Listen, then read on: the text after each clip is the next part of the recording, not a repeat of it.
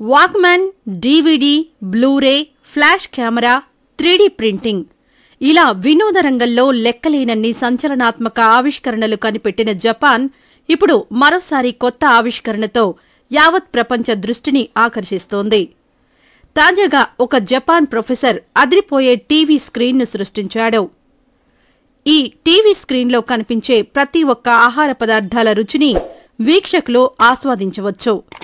ఒకవేళ మీరు master chef programme చూస్తున్నారనుకోండి అందులో ఏదైనా కొత్త ఐటెం కనిపించింది అనుకోండి ఆ ఐటెం రుచి ఎలా ఉంటుందో తెలుసుకోవాలని మీకు కోరిక పుడితే వెంటనే మీ టీవీ స్క్రీన్ ఆ రుచిని తయారు చేసి మీకు అందిస్తుంది.